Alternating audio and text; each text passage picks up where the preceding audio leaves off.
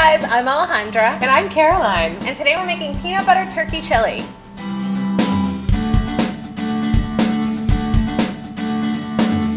This is such a fun recipe if you've got friends coming over, if you've got a potluck. It's a nice recipe for a crowd, a little bit spicy, satisfies everyone.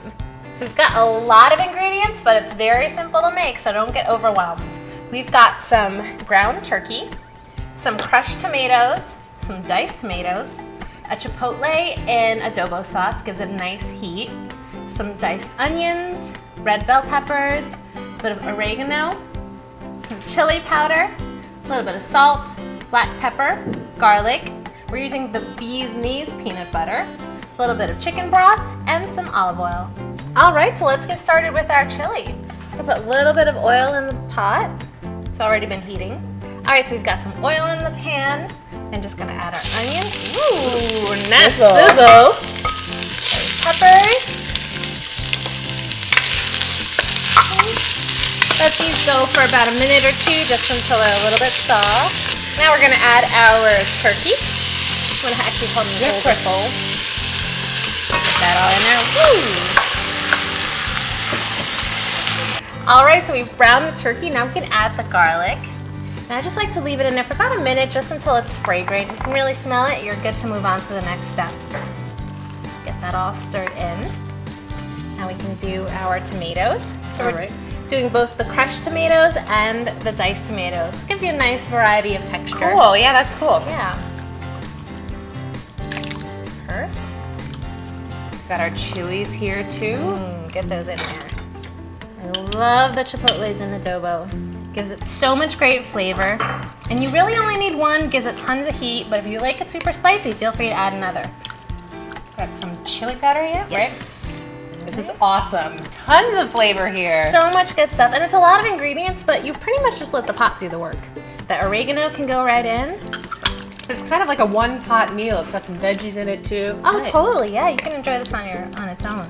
Okay, so we can add our peanut butter. All right, I like that you chose bee's knees. It gives it a little bit of sweetness. It's kind of nice with the with the chili. So just stir that in, let the heat from the tomatoes and just kind of melt the peanut butter so it's smooth and goes right in. It also kind of thicken the sauce too. It really Delicious. Does. Nice and hearty. Awesome for parties. All right, now you want to give me that chicken broth. All right. I'm Just gonna pour that in. It just thins it out a little bit. So we had a teaspoon of salt and a teaspoon of pepper. So we're just gonna bring this to a boil and then lower it to a simmer and then just let it simmer gently for about an hour. You can stir it occasionally. No need to babysit it.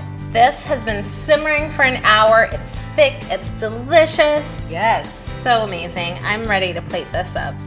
It'd also be really perfect to freeze too, probably, right? Oh my gosh, yeah. This is one of those things you can make a big batch of it on Sunday night. Ooh, and I get to top it with, what do we have here? All right, so we've got some Greek yogurt, a little bit of sliced scallions. You could use sour cream, but I like the Greek yogurt. We know we're using turkey. It's a little bit lighter. Yeah. It's a nice touch.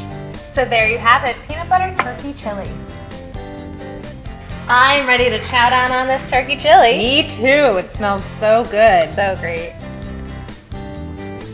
Oh, that is really nice. Mmm. All those chilies plus the peanut butter, but you're right, bee's knees, it gives it that extra something. It's a little bit something special. This peanut butter turkey chili is an awesome one pot meal. What are your favorite one pot meals for busy weeknights? Tell us in the comments section. Thanks for watching. We hope you liked this recipe, and if you did, give us a thumbs up. Every week, we cook up a new peanut buttery dish, so make sure you follow the Peanut Butter and Company channel to catch them all. We'll see you next time. This is one of those things you can make a big batch of it on Sunday. This is one of those things you can make a big batch. There's not enough room for more stuff in this.